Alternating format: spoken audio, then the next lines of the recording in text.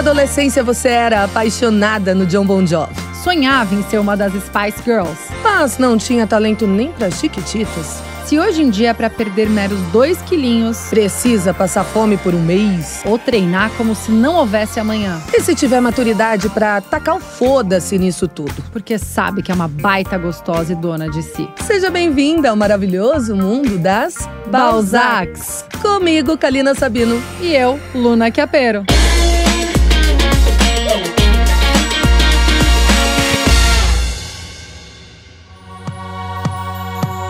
Balzacers! Sejam todas muito bem-vindas ao seu podcast Sem Poda e Sem Pudor. Para mulheres de 30 e poucos anos, quem tem mais ou menos, homens também, são todos muito bem-vindos. Você que está acompanhando a gente, curte, compartilha na plataforma que você tiver para ajudar a gente a divulgar e chegar em cada vez mais pessoas. Aliás, Balzacers, valorizem essas Balzacs aqui hoje, porque viemos todas caprichadas, Ai, lindas, com essas semijoias. Olha que gracinha, gente. A minha gargantilha. A Tem minha mais igual, né? detalhes, é igual, tem mais detalhes no Instagram que vocês vão ver mais de pertinho. E o meu brinquinho, amiga, olha, Muito de retrô, estrelinha, amiga, furtacor. furtacor. Parece aqueles que eu usava nos anos 2000. É, eu já tô massa. mais assim, Balzac madura, né? Que pega uma gotinha aqui, outra aqui, mas eu tô apaixonada. Renasça, são semijoias, São né, semijoias, amiga? eles usam os cristais Swarovski também. Ai, Chiquíssimo, gente. A gente tá se achando. A gente tá se achando. Então valoriza a gente, curta, compartilhe.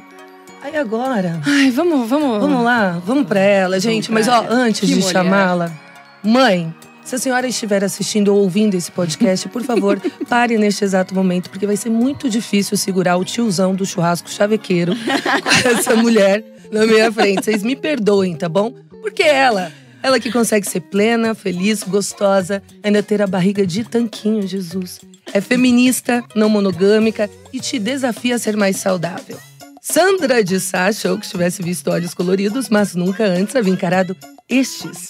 Aliás, de hétero só os olhos, segundo ela, e já já explicamos o porquê. Gaúcha, influenciadora, mãe do Galeano e a ex mais sensata deste Brasil, Mina Vinker! Seja bem-vinda, maravilhosa! Maravilhosa, muito Bem-vinda! obrigada. Que gostoso ter você aqui. Obrigada. Ambas, aliás, foi Luna que me apresentou você pelo Instagram e, meu, fiquei sua fã. Ah, Super já, te te, já que admiro. você tá aqui faz tempo, amor, desculpa, mas que mulher, hein? Gente, Estou apaixonada. Por favor. Quem que senta como ela e não tem uma Pois dobrinha? é, gente, olha isso. Não é Quem tá assistindo possível. no vídeo vai ver. Gente, e assim, que aquilo que você vê no sabe? Instagram é exatamente ao vivo. É, mas vai eu acordar quatro e meia da manhã Ah, que nem ela. Meu Deus, gente, como é que eu vou ter disposição? Mas obrigada, a gente Obrigada tá a muito vocês feliz. pelo convite. Mas a pergunta que não quer calar: o Ah. que, que é Balzacs? Vai. Ah, Aceitei o convite, mas ainda não entendi o nome. Não é cilada, fica tranquila. Não é, não é. Bom, Balzac, vamos explicar. Honoré de Balzac, que é o nosso muso inspirador. Vamos subir aqui, quem tiver no, no YouTube vai ver uma mãozinha. É. Ele é um, um escritor francês que, no século XIX, publicou um livro falando sobre a mulher de 30 anos. Olha. Olha, estudou direitinho. É, tá tá bom. pai, eu ainda não li o livro, que meu pai ontem me mandou um áudio falando: Minha filha, você sabe o que é o termo balzaquiana? Eu falei, pai, eu dei uma estudadinha, então tá aí, pai. E aí a gente ouvia muito balzaquiana das nossas avós, né? Sim. Das pessoas mais antigas. E a gente fez até uma pesquisa entre nossas amigas. Ai, você já ouviu falar de balzaquiana? Muitas não tinham ouvido. E as que já tinham ouvido achavam um termo pejorativo, quando na verdade não. Honoré de Balzac valorizava a mulher de 30 anos. Dizia que os 30 eram a melhor fase da mulher, porque é quando ela tá mais é, com autoconhecimento, bonita, que exala amor, paixão. Ai, somos É, nós. é, é- é muito Ai, que maravilhoso. lindo. E a gente quer Amei. desconstruir isso também, de Legal. quem acha que a mulher balzaquiana tá acabada. Nossa, ela. Frustrada, mal né? amada, Gente, que É é a nossa melhor idade, vai É, dizer. Quer não. dizer, eu acho que toda melhor idade vai ser a, a idade que a gente tá. Mas eu acho que Sim. Mas os Sim. 30 os 30 é, é gostoso. Tá sendo gostoso. tá sendo. E né? Balzacs, porque a gente quis fazer de uma forma mais descon- desconstruída, né? Porque fica um pouco mais, sei lá, parece uma gíria. né? É. É, tanto que já virou gíria entre os meus Já. amigos, né? Ah, você é Balzac, Balzac. Balzac. E as, Legal. nossas, e as nossas companheiras, seguidoras, convidadas são as Balzacers. Balzacers, Então, carinhosamente é. chamadas de É, Balzacers. nossas Amamos Balzacers. vocês. Adorei, maravilhosa. Ai, a gente tá adorando. E agora me conta que essa história dos seus olhos serem héteros. gente, que olhos maravilhosos. Muito diferente, eu nunca tinha visto. É, eu tenho a heterocromia, que é anomalia genética, né? Normalmente a gente, quem tem heterocromia, nasce com um olho de uma cor diferente, que na hora que tá. é, como que chama? Esqueci o nome. Cromossomos? Não, não, da cor da pele. É, Melanina. Melanina. Melanina. Isso. Formando a É, melanina. formando a melanina é a falta da pigmentação, né? Então, teoricamente, era para meus olhos terem vindo castanhos, mas faltou melanina na hora e aí ficou verde, um ficou verde. Sobrou melanina no nosso, né? No nosso sobrou. de melanina. Pois é. E aí, só que o que é diferente, você tem um verde e o outro, E outro é verde, verde, castanho. É mais raro É mais ainda. raro. Normalmente é um olho de cada cor, ou um verde, um azul, um verde, um marrom, enfim. E o meu acaba sendo um pouco mais raro. E quando é você era louco. mais nova? Você, você sofria bullying? Muito. Não é possível. Muito. Porque eu sempre tive hum, é, problema na visão, né? Então, Uhum. ou eu usava lente de contato ou eu usava óculos. E quando eu ia de lente de contato pro colégio, as pessoas achavam que eu comprava lente de contato, cortava a lente de contato e colocava pra chamar atenção, né? Trabalho, né? E aí eu tinha que ir no banheiro tirar a lente de contato, mostrar que a lente de contato era transparente, não Ai, era colorida. saco. Mas normal, né? Criança, adolescente. Mamãe que fez. Mamãe que É, fez. quem não sofreu um bullyingzinho na infância, não é mesmo? Nossa, Agora eu não preciso hoje. nem chavecar, é só olhar com o olho. É, né? não, não olha muito. Não olha, não olha. Deixa eu virar pra cá um pouquinho pra Luna agora. Eu olhar, preciso né? eu olhar demais já era. Bom, vamos lá. Falando ainda sobre isso, né? Você fala que a única parte hétero do seu corpo são os seus olhos. E você fala sobre sexualidade de uma forma muito tranquila, muito leve, muito natural, que eu acho ótimo, porque eu acho que tem que ser assim mesmo, né? Tratar a sexualidade dessa forma. E eu vi, né, fazendo pesquisa, aprofundando na vida de Mina Winkel, que você teve o seu primeiro relacionamento aos 15 anos com uma mulher. Uhum. Conta pra gente como é que foi, assim. É isso, assim, eu sempre fui. é, o meu irmão, na verdade, ele é um ano e meio mais velho que eu, e ele sempre deu indícios de que seria um homem gay, desde pequenininho, assim. A gente já via alguns trejeitos dele dentro de casa, mas meus pais, muito conservadores, é, não gostavam dessa situação. Então eu via muito a diferença de tratamento com ele e comigo e com a minha irmã, né, teoricamente hétero. É, e aí isso me incomodava, desde muito novinha sempre me incomodou. Mas no colégio, eu tinha um crushzinho, que era um menino X. é, e eu tinha uma amiga que é, que é lésbica. E ela começou a me mostrar outras meninas que ela achava interessante no colégio. E a me mostrar, tá, mas você não acha essa menina aqui interessante? Por que, você gosta desse menino? O que, você tá vendo nesse menino? Eu realmente comecei a, pensar, o que, que eu tô vendo nesse moleque, né? E aí, enfim, comecei a olhar mais para meninas nesse momento. E aí já tinha isso dentro de casa, que era algo que me incomodava também. Então, foi meio que, num primeiro momento, eu acredito que muita questão de rebeldia ali, né? Porque começou isso, esse interesse com 13, 14 anos. E aí, enfim, acabei eh, me apaixonando por uma menina, a gente teve um relacionamento e eu lembro que eu levei ela pra dentro de casa, apresentei não como namorada, mas levei como amiga. A gente sentou de tarde pra, no sofá e ficou assistindo eh, um seriado, alguma coisa assim. E aí minha mãe, depois de muitos anos, voltou e me contou que esse, essa semana ela ficou uma semana chorando a fio dentro do quarto, porque achava que ia ser lésbica. Mas, com o passar do tempo, eu conversando com ela, eu falei: mãe, você precisa experimentar. Como é que você sabe que você não gosta de mulheres se você nunca experimentou, né? E aí eu fui entrando devagarinho na cabeça. e aí, com uma, uma certa idade, ela foi, experimentou, voltou pra mim e disse: É, realmente eu não gosto. Ah, É, experimentou. pra Experimentou. Mas você sabe que isso depois de uma certa idade, por exemplo, a gente que tem 34, eu percebo que muitas amigas, depois dos 30, começaram a experimentar, é, a se permitir a ficar com mulheres. Muitas que já tinham vontade antes, mas não tinham coragem, e outras que estão de saco cheio de homem, Uhum. entendeu? Isso tem esse movimento acontecendo, né? Eu acho que é porque será? A gente Bastante. tá Eu com mais que- autoconhecimento, ou sei lá. Eu Vamos viver, né? tá Vamos também- explorar. É, eu acho que a gente cada vez mais tem referenciais que liberam a gente a, a atingir alguns limites, né? É, então, cada vez mais se fala sobre homossexualidade feminina, masculina. Então, isso eu acho que deixa de ser tanto um tabu. Um tabu, a é. gente vê que é algo que pode rolar. Eu posso experimentar, gostar e continuar. Eu posso experimentar, Não ver que não é minha gostar, praia é. e voltar a, a, né, pra o meu comportamento, comportamento não, relacionamento hétero e tá tudo bem. Sim. Então, eu acho que esse referencial também vai liberando mais espaço pra gente testar. Que é o caso dos relacionamentos não, monogâmicos, É, né? Exato. A partir do momento que você tem referência sobre alguma coisa, fica mais fácil é, experimentar e externalizar aquilo exatamente como tu falou, né? Então ele, ele vem muito também. é- Essa juventude aí, os 20 para baixo, é, eles já estão vindo com uma outra concepção de relacionamento, né? Justamente é, eles estão trazendo a não monogamia muito forte, já intrínseco nas, nas próprias relações. Então, isso é muito legal, porque eu sempre falei dentro das redes sociais sobre não mono, mas sempre assim, muito pinceladamente, assim, né? Trazia a, a minha experiência, mas nada muito aprofundado. Mas eu vejo que cada vez mais as pessoas precisam de informação, elas pedem informação, porque não tem. Não tem. é, Tem meia dúzia de, de escritores que você consegue ler para entender é, a- base teórica né, Sim. da não monogamia. Mas você não tem pessoas reais que você conheça, que você consiga seguir, se, que tu escute a, a experiência, né? Então é, é por isso que é tão importante trazer. Ao mesmo tempo que eu fico assim, nossa, mas eu vou ter que expor tanto a minha vida nesse ponto. Porque é isso, quando você fala de relacionamento, ainda mais quando fala de relacionamento não mono, você tá colocando não só a tua vida, mas a vida de outras pessoas que estão envolvidas. Então, de repente, essas outras pessoas nem querem aparecer, né? Nem Sim. querem estar Essa sendo nomeadas, exposição, assim. Então, é, é uma linha muito tênue, mas eu tô aqui firme e forte para trazer essa Informação. informação. Legal, então vamos falar mais sobre o relacionamento não monogâmico. É, você sempre teve relacionamento não monogâmico ou foi a partir de experiências de relacionamento monogâmico que você falou, não?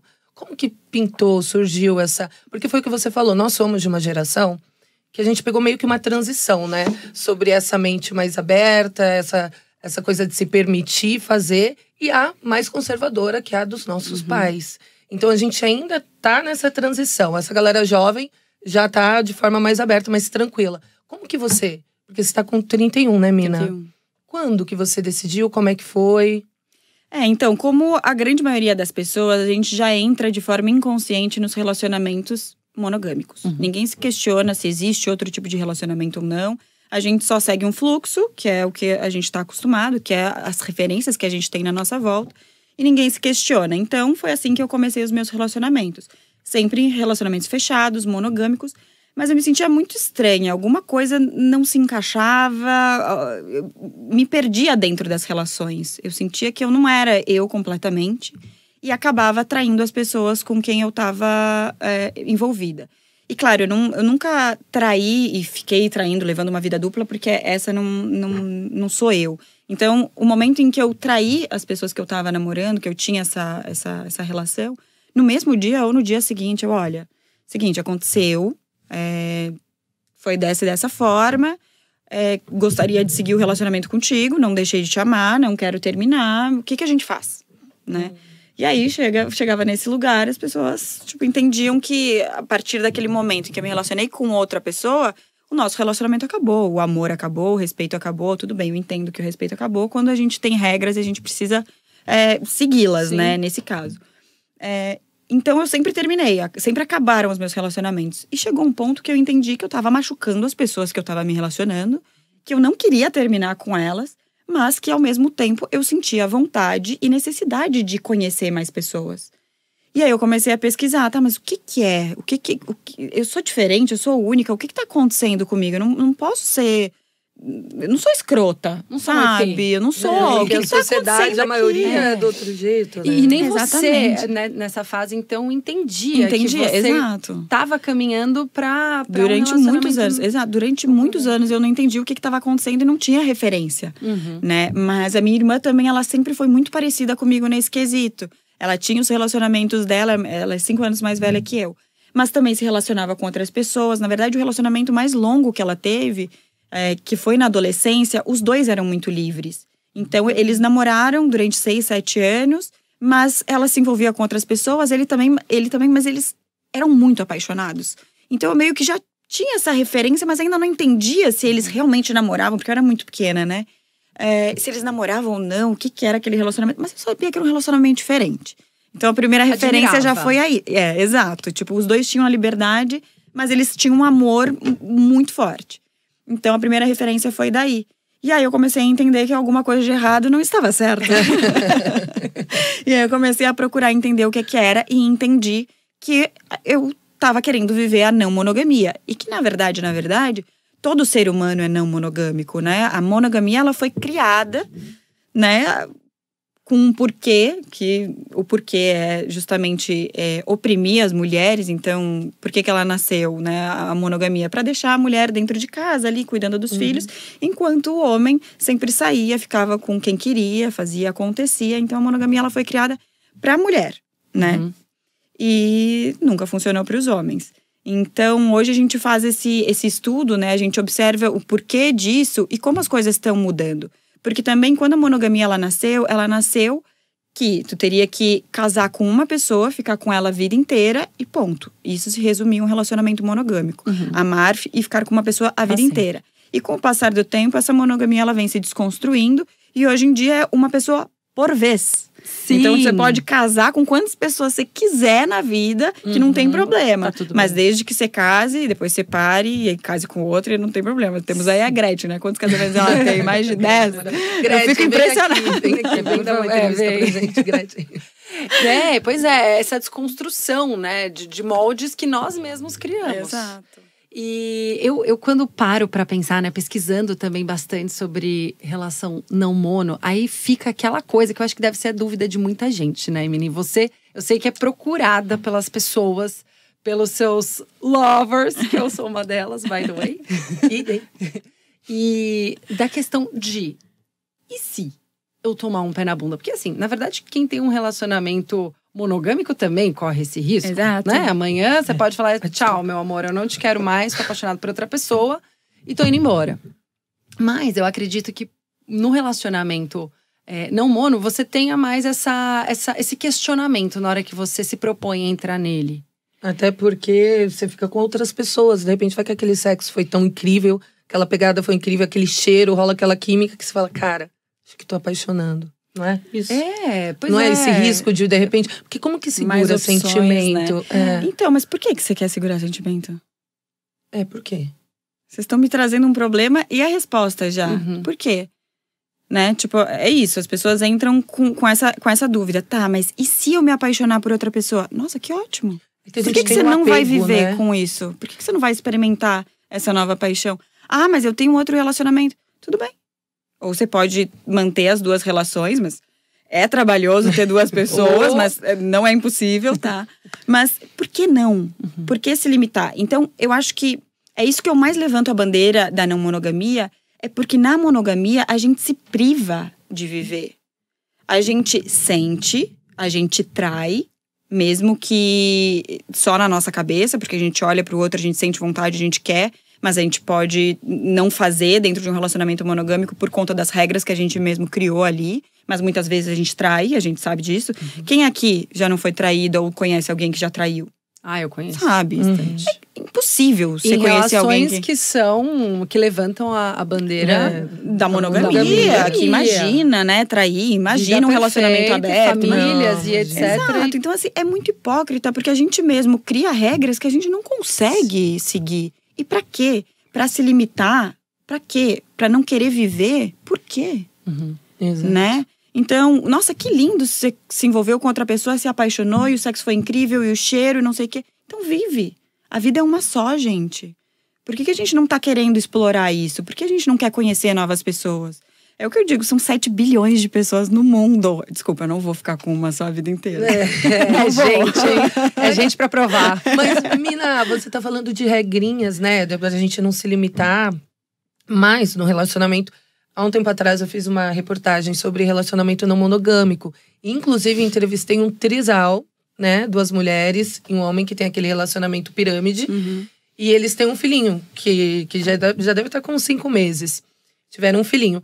Mas é, eles me disseram que existem algumas regras nos relacionamentos não monogâmicos, né? Por exemplo, é, tá, estamos namorando, Mina e Kalina. Que belo Sonho. casal. É, estamos namorando, mas assim, o que é permitido? Você ficar com alguém só na minha presença, ou você ficar com outra pessoa só quando você fizer uma viagem, ou quando for rolar sexo, tem que estar os três juntos. Então, assim, eu percebo que alguns relacionamentos não monogâmicos, até de casais de amigos, tem umas determinadas regrinhas. Existe isso mesmo, assim, para pelo menos ou não? Não tem Eu acho que, nenhuma. como todo relacionamento, vai depender dos envolvidos. Né? E o que Uhum. faz sentido naquele, naquela fase, naquele momento. Porque tudo pode mudar também. Claro, num relacionamento monogâmico, a gente já pré-estabeleceu várias regras. Então a gente já sabe o que tem que fazer, o que pode e o que não pode dentro de um relacionamento mono. Mas de um relacionamento não mono, vai depender de quantas pessoas envolvidas estiverem e da fase de vida que elas tiverem. Porque pode ser que num primeiro momento é isso, faça sentido. Não, a gente não vai ficar com ninguém separado, só junto.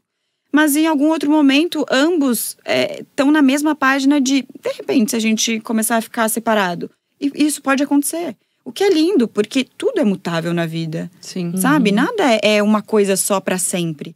Então, isso que é legal no relacionamento não mono é essa troca, né? É entender também o momento que o outro tá vivendo, o momento que eu tô vivendo e o que faz sentido pros dois. Sim. Então as regras elas se criam entre os casais, né? Exato. Como, É, como- a relação monogâmica. Agora, é interessante, né? Assim, quem, quem talvez esteja ouvindo, assistindo a gente, pensando, poxa, será que eu tô caminhando para isso, né? É, é interessante trazer quase que uma didática, assim. Você tá começando a se relacionar com alguém que não tá habituado com esse tipo de, de relacionamento, abrir o jogo. Tô sempre te perguntando como conselheira, Sim. tá? Porque é, é, como essa pessoa deve lidar? Por exemplo, olha, pô, tô, tô adorando ficar com você, acho que faz sentido a gente começar um relacionamento sério. Mas deixa eu colocar umas cartas aqui na mesa pra você entender com clareza como eu quero, como eu gostaria de conduzir o nosso relacionamento. É, a clareza ela é importantíssima, né? Essa conversa, ela tem que existir sim ou sim. Várias pessoas me perguntam no, no Instagram, né? É, tá, mas eu já tô ficando há um baita tempo com a fulana, tô super apaixonada, e agora, como é que eu conto? Em algum Uhum. momento você vai ter que contar, não tem como não, né? Então, assim, enquanto a não monogamia não é o padrão, a gente tem que, que ter essa conversa de, olha, eu sou assim, eu penso assim nas relações. Ou se já tá uma relação muito avançada, ou se tu já entrou num relacionamento monogâmico, mas quer trazer essa nova dinâmica, a gente tenta trazer de uma forma mais amigável possível. Tipo, ai, olha essa menina aqui na internet que tá falando sobre não monogamia. Ah, então é meio que Olha dá que um. interessante, dá- né? Vai dando uns, jogando uns verdes. Exato, ver o que a pessoa Aham. vai falar. Olha isso aqui, nossa, nunca ouvi falar sobre não monogamia. O que, que você acha? Você já ouviu falar sobre não monogamia? Trazer o diálogo. Como é, traz o diálogo. Entende como que a pessoa vai receber aquilo. Se é algo que tu quer muito viver, quer muito experienciar, e aquela pessoa tem um bloqueio, ou vai xingar, vai, vai levantar alguma coisa de, de uma maneira mais ríspida, né? Com má educação, assim, de ah, isso é putaria, ou isso é várzea, ou isso é qualquer coisa.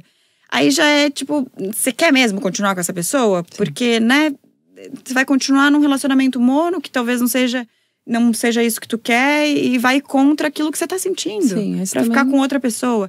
Então é isso, assim, tentar trazer esse assunto de uma forma mais leve, tentar entender. Mas se tu tá começando a ficar com alguém, já coloca as cartas na mesa, sabe? E é muito interessante porque uma vez que a gente coloca, é muito solitário também a vida de uma pessoa não mono. Porque quando a gente começa a se envolver com alguém, claro, no meu caso, todo mundo sabe que eu sou não mono, porque é só entrar na minha rede social e já sabe disso. Então a pessoa que for se envolver comigo, ela pelo menos já entendeu algum, que alguma coisa tá diferente ali, Sim. né? Por mais que não entenda a fundo. É, mas para as outras pessoas é importante trazer isso desde o início. Mas acaba trazendo essa, esse isolamento, porque as pessoas não querem entrar num relacionamento não mono. Elas têm medo de se envolver com pessoas não mono, porque não sabem quais são as regras, não sabem o que vai acontecer, não sabem se vai machucar, se não vai. E é muito louco, porque se tu quer ser não mono, se tu quer viver a não monogamia, a gente precisa ter esse embasamento teórico para trazer é, e poder explicar para o outro: olha, não é várzea, Uhum. sabe? Eu só penso assim dessa forma, por isso, por isso, por isso, e a gente pode tentar viver alguma coisa junto. É, é o que a gente falou agora há pouco das referências, né? Exato. As pessoas, elas não. Ainda é um campo que elas estão desbravando, Uhum. né? Elas estão É abrindo aquele desconhecido, mato né? pra saber o que, que vão encontrar ali. É o medo do desconhecido. E existe pessoa assim que tenta se relacionar com você, falar ela é não monogâmica, mas comigo ela vai ser monogâmica. tipo um desafio. Desafio. Comigo ela vai ser exclusividade. Existe gente que tenta ainda. Olha, eu não duvido. É mais fácil eu desconstruir as pessoas, porque assim, to- todas as pessoas que eu já me relacionei não monogamicamente são monogâmicas, acreditam na monogamia, vivem a monogamia.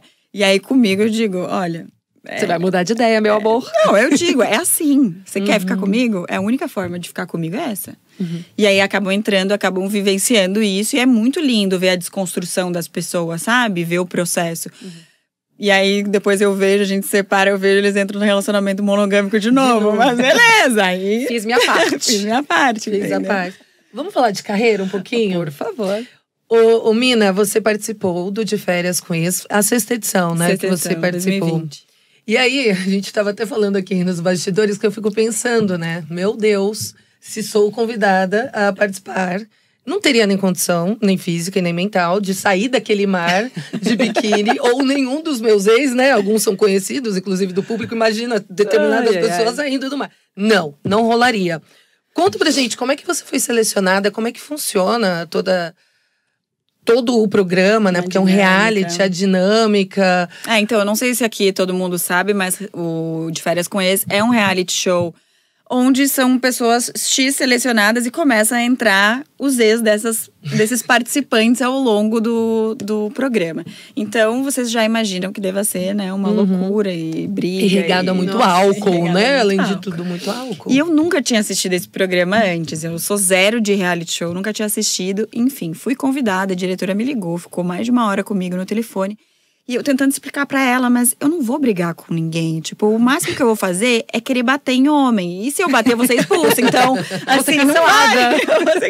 Então, assim, não vai acontecer. Eu quero que todo mundo se pegue mesmo. Não tenho ciúmes de ninguém. Quero que meus ex peguem minhas ex e tá tudo certo.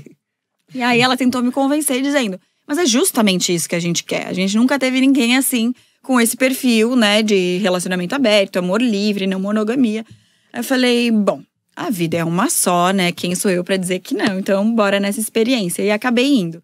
Então, existe essa pré-seleção, onde são 10 pessoas selecionadas para o casting principal. E ao longo do programa, dependendo do que está acontecendo ali, porque é tudo é, feito conforme a, a música vai, vai Uhum, rolando, uhum. entendeu? Porque, por exemplo, no primeiro episódio, é, eu fiquei com três pessoas. Eu fiquei com a Flávia, mas acabou não aparecendo. Eu fiquei com o Rafa e eu fiquei com o Caio. Dizem que eu levei o programa nas costas os dois ou três primeiros episódios, né? Porque ninguém fazia nada, eu cheguei lá e mostraram tudo, né? Coluna de Mina Vink, eu aqui quebrada por causa disso. Ah. E aí tá, então eu me envolvi com várias pessoas, fiz várias coisas. Tocou a Suite Master pra mim. Acabei levando a Flávia. Quando eu entrei na Suite Master, um ex meu estava me esperando na Suite Master. Não acredito. Dessa maneira, mas não era meu ex, tá? Então só Ah, não explicitando aqui, não, era uma pessoa que eu tinha dado match uma vez e vi uma vez na Uau. vida. É, era Tá. assim, dúvida que eu tinha. Tipo, todos são ex ou de repente é, um beijo que você deu numa balada Então, o que, que apenas? acontece? Normalmente, é, você conta a história de todos os teus ex, conta como que foi que terminou, como que aconteceu e tudo mais. Passa o contato deles. Ah, você a tem que… é, produção entra em contato, só que eu só namoro pessoas low profile. Aham. E eu falei, gente, nenhum ex meu vai entrar nesse programa. Quase eu não entrei nesse programa, quem dirá um ex meu entrar no programa. Dito e feito, entraram em contato e ninguém quis participar. Aí voltaram. Então, Mina, você pode fazer uma lista das últimas pessoas que você te relacionou no último ano? E ali eu percebi que eu era uma vagabunda. Que delícia. Maravilhosa. Vamos juntas, não Valzara. Linda, vamos. Aí entraram em contato com o pessoal. Esse menino que eu fiquei uma vez aceitou. E acabou entrando. Então, quando eu me deparo com ele na Suite Master, a câmera não consegue nem me pegar. Porque eu comecei a girar, assim, tipo, o que, que tá acontecendo? What the fuck? Uau! Foi engraçado. Mas enfim, era uma pessoa que eu me relacionei uma vez, tanto é que ele foi o único eliminado da temporada, porque. Enfim, era uma pessoa bem nada a ver. E eu fui meio que até cancelada na época, porque ele é o oposto de mim. Então ele foi super machista, bem homofóbico. Uau. Foi bem, Bem escroto. inconveniente, Bem inconveniente. né? Sim. E aí as pessoas, tipo, como assim, gente? Mina, fada sensata com esse cara? o que Sim, tá acontecendo? Eu não, eu não é é meu ex. Mas tudo bem. Mas normalmente são esses que entram. E aí começa todo o bafafá, né? Nossa, deve ter sido uma baita experiência. Mas deve ser muito gostoso. E é álcool assim, 24 horas? Não Tem, é tipo, tanto, não. Não é. Porque o que parece é isso, né? Que é álcool, festa, Não 24 é. horas, Não aí é, não. tretas e, e sexos. A hora, e a, e a, a festa também não é muito tempo. Quizá são três horas de festa, não muito mais. Ah, então é. Mas tem um pouquinho mais de álcool, mas assim, não é muito, não. Tá. É que acaba que você só vive aquilo ali. Então, a- a- acontece que. A gente começa a esquecer as coisas aqui de fora, né? Sim. O que acontece na vida real, a gente começa a esquecer letra de música, esquece total. O que acontece dentro de um reality show, com a nossa cabeça, não tem como explicar. Mas é isso, é, é tudo muito intenso e é- são aquelas pessoas. Então, Uhum. tipo, você vai falar delas. Você vai comentar delas, você vai pegar elas, você vai dormir com elas. Tipo, é só elas que Não tem. tem então, não tem Não é mesmo? A gente Tem se pra não tem que fazer. E antes de você entrar no reality, você já tinha uma visibilidade boa, né? Você já tinha esse lifestyle super legal de explorar conteúdo com viagem, enfim, plena como você é. Mas foi depois do reality, né, que você idealizou o Rotina Plena, Exato. que é o seu projeto atual, que eu acompanho babo nele. E rolou uma mudança significativa na mina antes do reality. Aí, né, tava ali chegando nos 30, trintou, rotina plena. Que, que, que change rolou É, ali? rolou bastante coisa, assim. Se for pegar como eu era antes do programa, eu sempre fui muito frenética. Muito de festa, muito de balada, muita bebida, né? Regada a álcool sempre. É, e aí acabei entrando no, no, no reality. Dentro do reality, eu comecei a ter crises de pânico, que eu nunca tinha tido na minha vida. Tanto é que um programa inteiro, um dia inteiro, assim, eu acabei ficando fora do programa, das gravações é, com atendimento psiquiátrico. É, e aí, quando eu saí, se intensificou muito mais, porque já estava rolando a pandemia e a gente não sabia lá dentro do programa. Então, quando a gente saiu, deu mais uma semana e deu lockdown no mundo.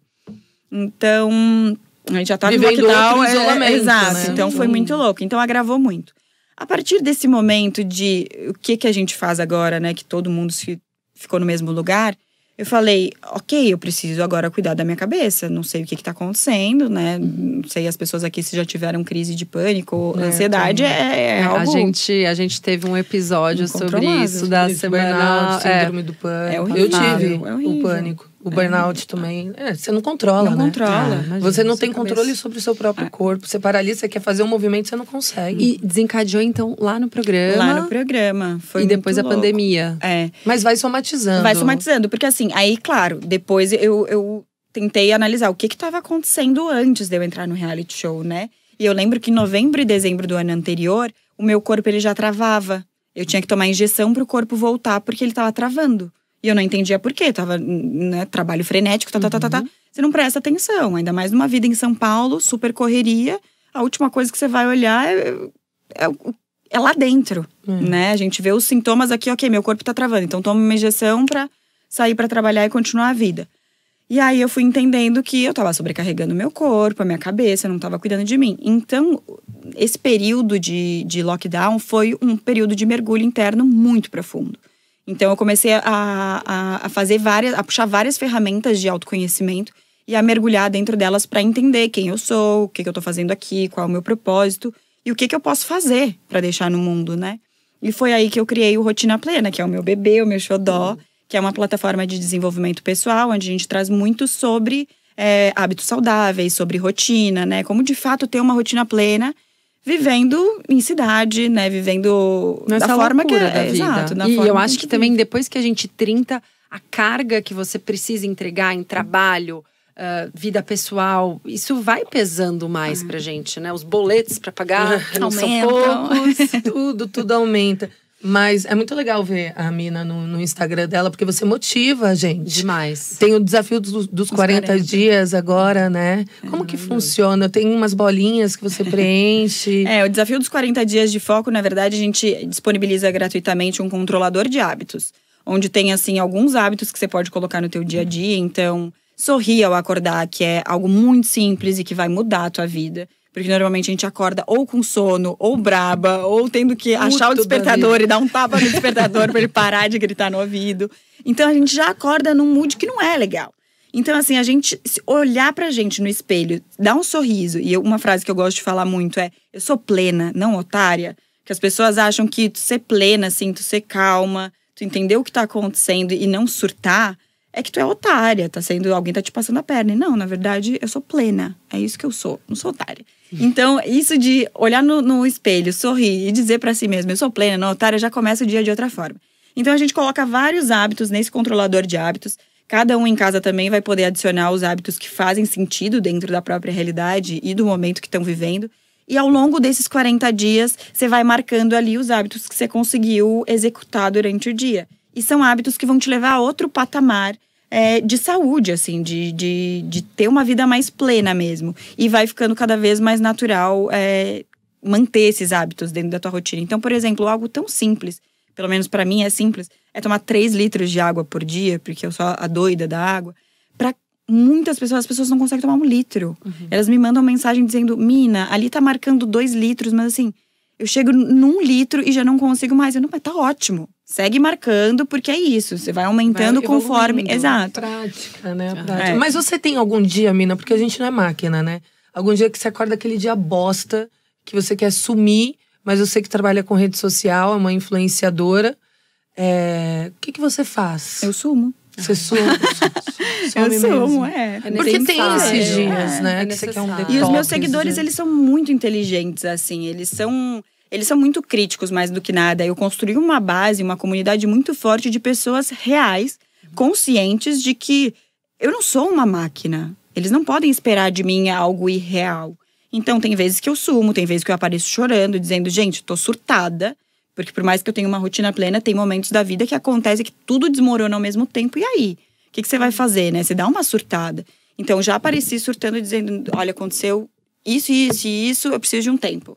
Aí todo mundo, nossa, manda mensagem super motivacional, vai, deixa o teu tempo, vai, a gente entende, a gente tá aqui Real life, né? É isso, gente, é, não tem é como. O, é aquela linha que a gente vive com a exposição na rede Exato. social, né? De, de ser quem a gente é, falar o que a gente pensa, tem que ter um cuidado, né? Porque a gente tá ali dizendo coisas para muitas pessoas, como aqui no podcast também, que é um novo desafio, né? É Exato. É você também, dentro da sua rotina, seja ela qual for, conseguir é, é, se posicionar sem surtar, mas se você precisar surtar também, cara, é tudo isso. Bem. Surtar, tudo bem. É bom também. É mostrar, né? Porque muita gente projeta em você, vê na rede social. Vida perfeita, Perfeito. rotina plena, desafio dos 40 dias, já acorda sorrindo, quatro e meia da manhã, faz meio exercício, blá, blá, blá.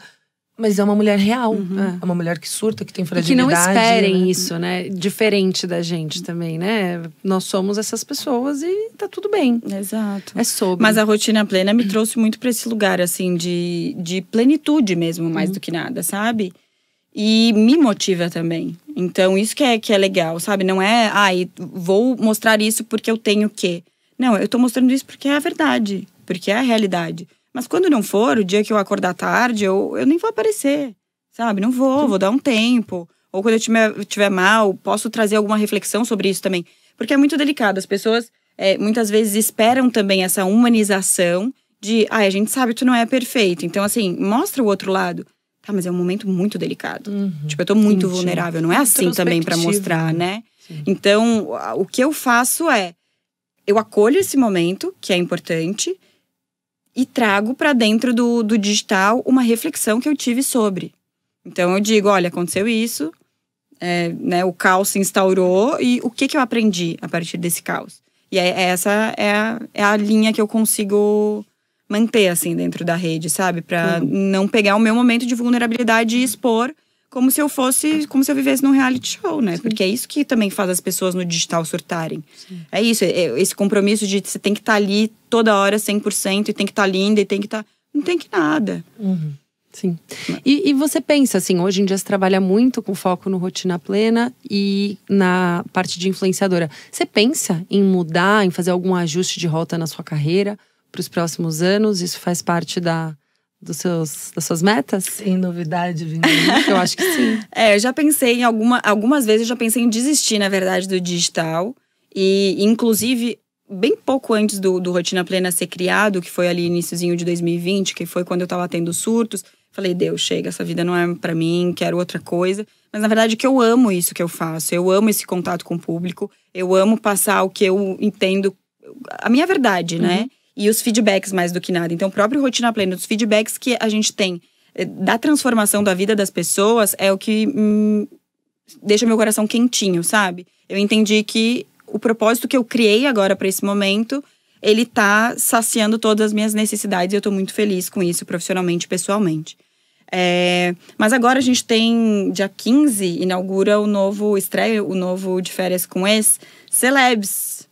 Celebs, É, ou seja, Sim, só celebridades. Só Veremos quando eu celebridade. vim E aí, não, vocês não, não. Eu não cheguei a contar pra você sobre lavação filosófica que eu fiz? Não, Não, conta então pra tá, gente. vamos voltar um Lavação pouquinho. filosófica. Quando eu participei do programa de férias com ex em 2020, a gente gravou todo fevereiro e ele foi ao ar a partir de junho ou julho de 2020.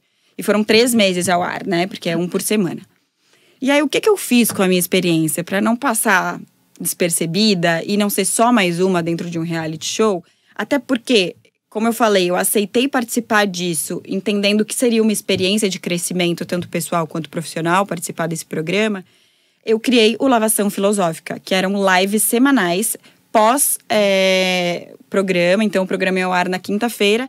Na sexta-feira eu trazia uma convidada, sempre com viés antropológico, para a gente fazer uma análise sociocomportamental do programa. Que sensacional. Então, foi Esses Não. conteúdos ainda, eu Uau. eu vi no Eles seu estão no Instagram. Insta, é, eu rolei lá pra baixo, eu vi, agora eu Eles estão. lembrei. E fez super sucesso. E me colocou num outro lugar também de influenciadora, né? E de, de participante.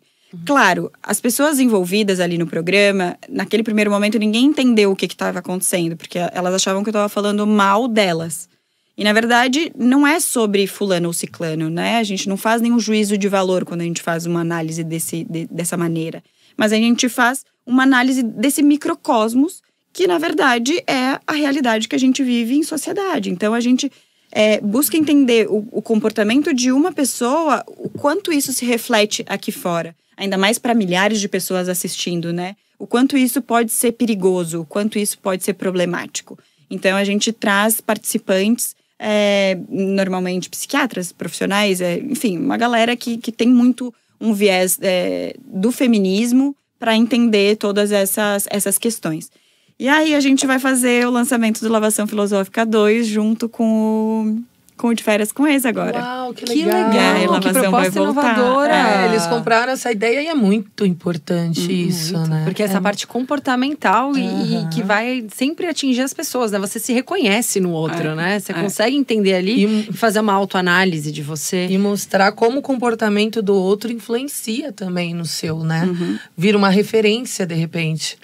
A gente vê hoje, no mundo de hoje, a política, como que estão os extremismos, né? Do, do, do mundo político, a violência, como isso está exaltado, tá, né? Todo mundo muito à flor da pele.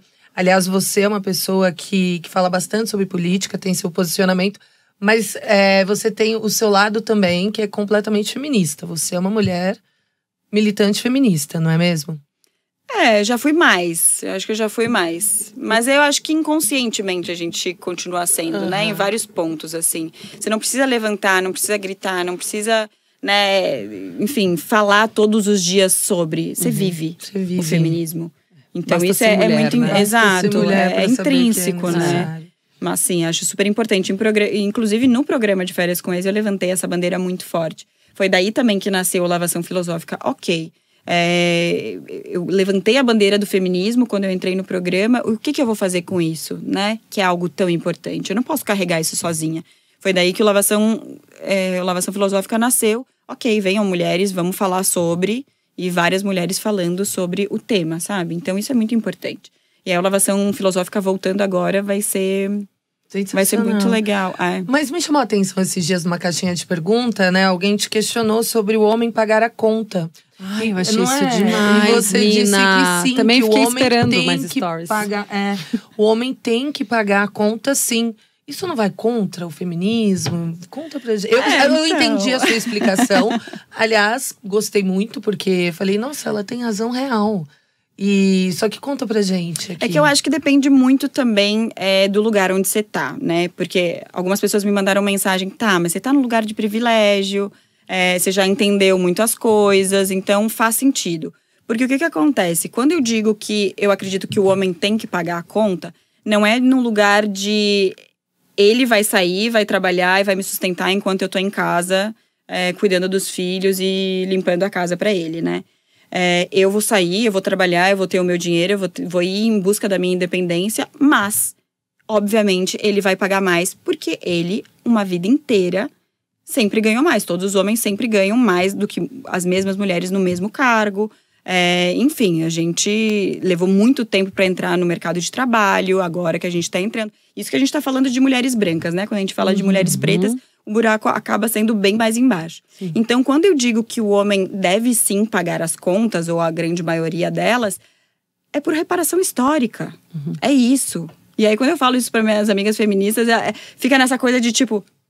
Tá, mas é verdade. Faz Pagar mesmo, caralho. Faz sabe? Cara, eu, eu, eu vi esse seu story e isso me fez refletir sobre várias coisas. E aí, no. Sei lá, eu não sei que dia que você colocou ele no ar. Mas teve um sábado, foi pra eleição. Eu fui jantar. Eu, meu namorado e meu pai. E, cara, esse assunto veio à mesa. E eu fiquei lembrando do que você colocou, porque eu fui pesquisar. Eu achei muito interessante. Eu falei, cara, eu posso concordar ou não, mas eu quero me informar pra ter o meu ponto de vista. Sim. Afinal de contas, eu sou mulher. Quem é mulher, de uma forma ou de outra, sente na pele quais são as consequências desse mundo machista que a gente ainda vive, né? De novo, a gente tá começando a criar as referências para desconstruir isso. E você me ajudou a ter uma discussão positiva, não foi uma briga. Eu sempre falo, né? Discussões, elas podem ser uma conversa, Uhum. acalorada ou não, mas com meu pai. Eu achei muito interessante. Legal. Eu falei, cara, me, me acho que esse, esse tipo de conteúdo que você aborda também vai virando algumas chavinhas na nossa cabeça para a gente começar a se informar mais, Uhum. para ter esse referencial daquilo que a gente concorda ou não, mas entender mais dos temas, É, né? A reflexão ela é ótima justamente por causa disso. E não é que eu não possa mudar e que eu tô falando o que é e ponto e não vai mudar. Não, eu tô sempre aberta a tudo. Mas é isso, essa questão do homem também não é dele pagar, não é nesse lugar de a mulher vai ficar submissa a isso, o que pode acontecer e acontece muitas vezes, né? Que a mulher não tem é, esse não tem esse respaldo financeiro por si só e acaba entrando num relacionamento ou se mantendo num relacionamento porque o homem paga. A questão aqui é a gente está falando de mulheres que vão pra rua, que estão trabalhando, que estão em busca do seu. Mas assim, é isso, gente, é reparação histórica. O cara tem muito mais privilégios em tudo. A gente precisa pagar por segurança. Ai, é, eu tenho que ir pra tal lugar. Ai, mas eu tenho que ir de ônibus, não dá pra ir a pé.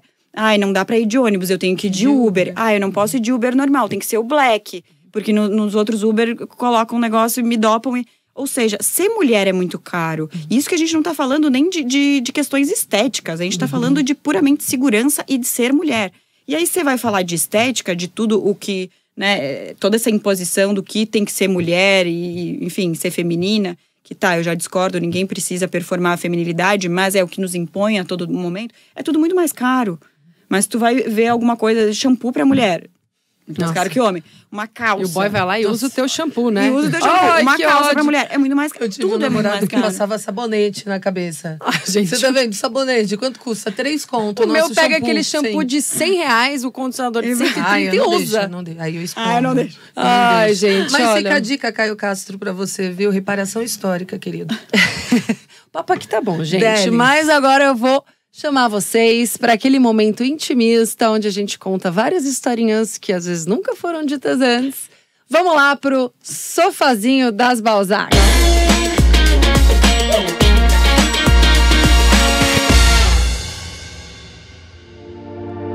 Estamos aqui agora à vontade, Mina Winkel, um sofazinho exclusivo pra ela. Ela até tava perguntando como é que eu fico, como é que eu fico. De qualquer jeito, minha Vou filha. sensualizar agora, esse é o momento? Esse, esse é o momento da sensualidade de Mina. Todos os momentos são mãe. Eu tô falando que eu não ia conseguir segurar Tá o complicado. Tá Vocês não estão ouvindo os complicado. chavecos que estão rolando quando Nos a câmera tá desligada. Pois é. Mas vamos lá, Mina. Esse é o momento que a gente tem os nossos quadros, o sofazinho das Balzaques. E o nosso primeiro quadro, sobre relacionamento. Sei que falamos bastante sobre isso lá no começo, mas agora a gente quer saber alguma experiência, algum caos seu que você tenha vivido. Primeiro quadro, novinho emocionado ou coroa calejado. Nossa, que situação, não é mesmo? Mas deixa eu contar pra vocês, antes da situação em específico, o que eu fazia antes da, da pandemia, né? Antes de 2020, eu e minhas amigas aqui em São Paulo, todo mundo perto dos seus 30 anos. O que, que a gente fazia? Porque a gente sabe que novinho tanto novinho quanto velho tem seus lados bons, né? Mas tem também o, o outro lado que não é tão legal. Mas novinho, é, além de serem emocionados, eles querem entregar muito, né? Eles querem mostrar serviço, eles querem ali para poder ter mais de uma vez. Então, o que, que, a gente fazia? A gente ia para a saída das faculdades e comprava um copo de cerveja de plástico e ficava na saída é, chavecando a galera Atraindo. que saía. Uhum. Novinhos. E aí cada uma. Uhum. Gente, Cada adorei essa Oferta, gente. Nossa, solteiras, fica a dica. Fica a dica. Era Ai, maravilhoso. eu porque uma gente garrafa de uma caixa, um gradado de Heineken na frente da faculdade. Não, e eles colocam essas caixas de som, então a gente ficava do lado da caixa de som, ali dançando despretensiosamente, com o nosso copinho de plástico de cerveja, e cada um encarnava um personagem. Então a gente inventava, qual vai ser o teu nome agora? Ah, eu sou fulana, ah, eu faço jornalismo, ah, eu faço moda, eu faço. E a gente inventava qual faculdade que a gente estudava, e ali a gente começava a desenrolar pra, né, conseguir levar os novinhos pra casa. E super dava certo. Dava Você tinha certo. quantos anos, você e suas amigas no certo? Isso agora, 2000, antes de 2020, 28, 29 anos. E pegava os novinhos que de Pegava 18, 20? 18, 20. Imagina a bênção na vida desses meninos. Não. Agora não dá mais pra fazer, porque agora eu já sou um, um pouquinho mais conhecida, aí as pessoas já sabem quem eu sou. Mas antes dava pra fazer. Então você aí de casa é uma ótima opção. Quer pegar novinha, novinha, já sabe. Gente, dica Vai pra porta da faculdade, gente. É maravilhoso, porque é outro mundo, assim. E realmente, né, depois dos 30, tem muito boleto pra pagar, tem muita coisa. A vida começa a ficar muito séria. Então, se relacionar com essa galera nova é muito legal. É, é- eles têm muita energia, é tudo muito novo. E até a própria linguagem, né? Eles falam coisas que eu fico assim, o que, que tá acontecendo Que aqui? gíria é essa? Não. Exatamente. Esses então, dias- se envolver com eles é muito legal. Esses dias um, um novinho falou pra mim, não sei o que, mas eu nunca vou te dar ghost. Eu falei, que ghost? Ghost do filme? Ghost? Ghost, Que gente, porra de ghost essa- é, esse? Você não sabia disso? Eu sabia não. que você não sabia disso. Você sabia, você é Balzac que nem eu. Dar ghost, É que eu tô eu nem sei se casada, eu tô né? falando uma bela de uma besteira, é você, tipo, sumir da vida da pessoa. Ah, tipo, makes sense. que a gente falava de dar um Alright. fora antigamente, É né? tipo fantasma, sumir. É isso, né, é mina? isso. Dar, Dar- ghost é dar desaparecer, ficar sem falar. Ah. E aí aparecer do nada. Oi, sumida, tudo bom? É. Meteu louco. Meteu louco. Basicamente. meteu louco, exato. Então vamos agora para o nosso próximo quadro. Bem sucedida na base do Tarja Preta. Não é fácil, a gente sabe, especialmente depois dos 30, muito boleto para pagar, muita responsabilidade. Como é que você lida com isso? Olha, eu achar, eu nunca imaginei que eu fosse tomar tarja preta na minha vida, porque eu sou uma pessoa que eu sou zero de tomar remédio. Então eu não tomo remédio pra nada, assim. Eu posso estar quase morrendo, aí sim, de repente, eu penso em tomar alguma coisa. Mas lembra que eu contei pra vocês que eu comecei a ter as crises no programa? Uhum. E foi aí que eu comecei a fazer o acompanhamento psiquiátrico, psicológico. E óbvio, chega um momento da vida que você tem que entender que tá tudo bem, isso é um problema, é uma doença, então você tem que tratar. E eu nunca resisti a nada, né? E esse momento foi um momento de não resistência, de ok, minha cabeça foi pra Nárnia, tá ficando lá, eu preciso trazê-la de volta. E foi aí que eu entrei com acompanhamento e comecei a tomar a tarja preta. E junto com esse tarja preta, eu falei, ok, o que, que eu posso fazer para me dar suporte e eu poder largar esse tarja preta eh, o quanto antes, né? E aí eu mergulhei na- nas ferramentas de autoconhecimento, muita meditação, muito yoga. E olha, isso salva a vida. Inclusive, em muitas eh, crises de ansiedade que eu tinha, só com os pranayamas, que são as respirações conscientes, eu conseguia sair sem precisar tomar o tarja preta. Porque você tira o foco da É, crise. Você volta para respiração, você concentra na respiração. E o poder da respiração, ele é muito forte. Quando eu entendi que eu conseguia sair de uma crise sem precisar colocar um sublingual ali para sair, resolveu a minha vida. É só agora óleo essencial de lavanda, respiração consciente, tá tudo certo. Ai, que delícia. Isso que, é, isso que é ser plena, né? Alcançar esse nível de busca, plenitude. a gente busca. Você tá sendo minha inspiração, porque o frontal não sai da minha bolsa até agora, né? Porque afinal. Ah, daqui a pouco vai sair. É, vou aprender a respirar direito. Vamos lá, mina. Filho pet ou filho humano? Você tem sonho de ser mãe? Você se preocupa com isso? Você se preocupa com o relógio biológico, a idade chegando, congelar óvulos e todo esse drama que mulheres enfrentam? Não. Ah, jamais, jamais. Hoje eu tenho um filho pet. Claro que a gente não pode nem comparar, mas é, nunca passou pela minha cabeça nem o casamento, nem gestação. Inclusive, se eu imagino grávida, eu já, já começa a me dar um ruim, assim, porque eu não consigo me imaginar gerando uma vida. E mais do que isso, assim, caso em algum momento da minha vida, que eu imagino, sei lá, depois dos 50, que eu já esteja, já tenha vivido tudo que eu imagino viver, é, já esteja mais cansada mesmo de viver as coisas e Basicamente. queira sossegar, de repente aí eu adotaria alguém. Mas colocar mais um ser humano no mundo, isso para mim não, não faz muito sentido, porque eu acho que a gente já tá já tem um número suficiente de pessoas no mundo, inclusive muitas pessoas sem uma estrutura familiar. Então, caso bata na minha porta esse, essa vontade, é, aí eu adotaria. Mas aí eu adotaria uma meia dúzia, assim, pra Ai, Família. legal. tudo brincando. é. Sim, essa é a minha concepção de família. Muito bom. Agora o próximo quadro que todas as mulheres balzaquianas acabam tendo que enfrentar de uma maneira nova. Metabolismo pra quê? A gente, quando chega nos 30, descobre ali a manchinha, a ruga, o cabelo branco, né? Pa- Parece que cada dia é um rolê novo. Um pneuzinho novo. É, vários, né? Vários, é. A mina não. Mas É, a enfim, mina a não, gente né? De sim. novo, vamos abrir na mina e mostrar esse É, abdômen ó, por favor, trincado. Brasil. Olha isso, ai, sabe? O que mais te incomoda com a mudança de metabolismo depois dos 30 e como você tá lidando com isso? Putz, o que mais me incomoda? Nada, Brasil. Então, a cutis, a cutis, mais uma vez, vamos destacar. destaca- Você tá sem maquiagem. É, gente. Não, tem um pouquinho de maquiagem. Não, mas é tipo Ah, zero. Não é, na verdade, não é uma maquiagem, é uma base que ela tem uns pigmentozinhos, então ela dá uma leve coloração conforme é o, o tom da tua pele. Então não é uma base, é que eu não gosto de maquiagem, então. Procedimentos não estéticos, assim, um botox. ah, então, procedimento estético, tá chegando lá. maravilha. A gente tá apaixonado. Adoro. É, assim, a questão, é, acho que poderia muito ser o, o álcool, né? Eu acho que depois dos 30, depois de uma certa idade, a ressaca, ela, ela bate bem forte. Mas eu já tô há um bom tempo sem álcool também. Isso é uma coisa maravilhosa. É, conseguir largar tanto o álcool quanto o cigarro não é algo que me, que me pega, assim, que eu sinto vontade, que, que é muito difícil de eu manter longe.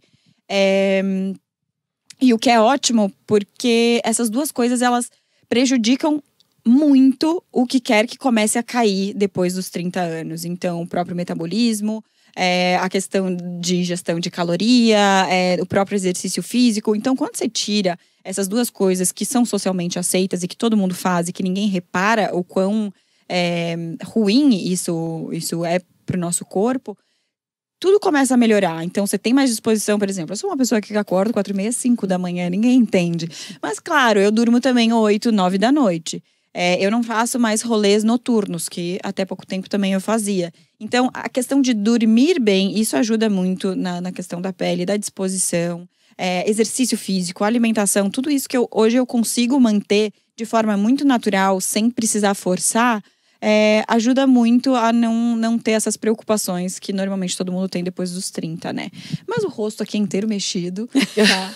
Inclusive a minha bunda também. Agora tô fazendo um procedimento bela estético também. babado na bunda, que é o booty pump. Que é fazer o preenchimento que a gente faz no rosto, só que no bumbum. Ah, tem é? um Celta na minha bunda. Gente, Ah, não é muito juro, grande, mas mulher. tem o valor de um Celta, né? Olha que Mas é o quê? É, É. Você coloca o procedimento tipo o quê? Tipo o preenchimento labial que a gente coloca na boca. É, é pra aumentar ou é, É pra, pra deixar mais É pra durinha? aumentar. O que que acontece? É, é a mesma coisa. É ácido hialurônico. Uhum. Além de ácido hialurônico, tem mais algumas outras coisas que eu não lembro, tá? Mas aí tem que falar. Tá, eu já perguntei, ela já falou algumas coisas que é, mas é isso. Ah. E é pra aumentar. Então, o que que acontece? É óbvio que você não vai parar de fazer exercício físico, agachamento é imprescindível pra você ter uma bunda gostosa, que não tem outra coisa pra fazer, tem que fazer exercício físico. Mas esse preenchimento, ele vai dando contorno, ele vai deixando ela, depende de como é feito, né? Mas vai deixando o bumbum mais redondinho, é, vai trazendo mais é, a produção de colágeno. Ah, que então, tudo que o ácido hialurônico que a gente coloca no rosto, ele faz, ele faz no bumbum também. Então, eu posso até mostrar pra vocês o antes e depois, que é Quero ver. Ah, mas no- a gente pode, inclusive, pôr aqui para as pessoas verem. Aqui, ó. É. Olha isso, gente. São Vejam super. bem. E no, e no rosto tem algum preenchimentozinho, botoxinho, Tem besteirinha? tudo no rosto, tem tudo vocês possam imaginar. O nariz é mexido, é preenchido, a boca, o queixo, uma lara, maçã. E você, a gente vê que tem muita gente que não quer falar, né? Que fica com receio. Fala- Você vê que aquela cara era de um jeito, hum, né? E depois mudou completamente. Ah, nunca fiz nada. Ah, eu fico com medo de passar dos limites. Tanto é que, de vez em quando, meus seguidores vêm e eles falam, tá, já deu, né? Tipo, bom, a minha família é totalmente contra. Toda Ah. vez que eu, que eu faço alguma coisa, tá, já tá demais, para, tipo, já tá mudando muito o teu rosto. E eu falo isso pros meus seguidores, eu pergunto, tá, mas já deu? Tipo, já, já tá ficando feio? Por favor, me avisem. Porque é algo que você faz e você vê todos os dias no espelho e tá achando aquilo Não normal. Então é uma linha muito tênue de tu passar dos limites e já se transformar numa outra pessoa, né? Então, por favor, gente, já tá demais, já dá pra ver que tá toda mexida. Tá lindo, tá lindo. Eu eu tento deixar as ruguinhas aqui, as ruguinhas, sabe? Porque também é isso, Pra ficar gente, natural. é dentro do, das Dentro do adaptações. possível, é. né? Não, mas tá maravilhosa. Tá, eu não preciso te divina. cantar mais do que eu tô cantando hoje. Chega. Olha, se você continuar, eu vou arrastar. Ai, meu Deus! Vamos para um happy hour mais tarde. Bom, vamos encerrar agora. Pausa, tô Continua, brincando. vai, vamos lá. Gente, eu particularmente adoro esse quadro, que é Amiga Fiz Merda. E eu tô doida pra saber qual merda imensa, gigantesca a senhorita fez pra compartilhar aqui com a gente. Conte-nos, por favor. Assim, depende do ponto de vista da pessoa, né? Se isso vai ser uma merda, não vai. Poderia ter dado uma grande merda, poderia ter dado uma grande merda. Eu fui muito consequente. Então, assim, por favor, não façam isso em casa. Estava eu com as minhas amigas, passando um fim de semana na praia. Íamos voltar, tava todo mundo dentro do carro. A gente já tava indo embora. Quando a gente para num semáforo e aparece um malabarista gato para um caralho. Uma lindo, lindo, bronzeado, do olho azul, verde, sei lá. Que Uau! Lindo. Eu falei pras gurias, caralho, mano, olha que cara lindo. Baixei o vidro e comecei a chavecar o cara. Era uruguaio. Dei a volta. No que eu dei a volta, eu falei, esperem aqui. Eu desci e falei pro cara, entra comigo que eu Não pode ser. E o Eu cara? levei ele pra minha casa, ele ficou trancado três dias no meu apartamento. Gente, melhor que Tinder isso. Na época nem tinha Tinder, eu era muito novinha. E aí, claro, fazia faculdade, estuda, é, trabalhava, saía Queria de manhã. Aham, queria ter a cá. É. Cacharito, cacharito. E ele Cara, não eu quis nem sair de porta. lá, né? Não, eu trancava a porta. Não Dias, Né? Eu tinha medo. Imagina, eu volto, minha casa tá pelada, não tem nada aqui dentro. Não sei quem é a pessoa, entendeu? Aí eu voltava, usava ele. Aí na manhã seguinte ia pra Maravilhosa. Foi na mesma época do cooler, na faculdade? A faculdade foi agora? Foi agora. Foi agora. Foi Isso agora, bem novinha. 2020. Essa é- eu tinha 20 anos, vai. Uau! meu Deus. Já tinha essa atitude Ah, toda. já é aqui, ó, é corrida. Agilizada. Agilizada. Gente, o cativeiro da Mina Vick. Aí deu três dias, eu falei, ai, não aguento mais, a mesma piroca, tchau. Deu pra ti. Embora. Caraca, eu acho que é uma das melhores amigas fiz merda que eu ouvi. até Não, hoje. e assim, o contexto, né? Se me perguntar o nome, Não sabe. nem ideia. Três dias na sua casa, vai. imagina, na missão do Alimentando o Ah, menino. E sendo alimentada. Ah, isso é o mais perfeito. importante, né? O mais importante. Nossa, que história maravilhosa. Amazing. Agora, vamos dar um pouquinho o contexto? Completamente inconsequente.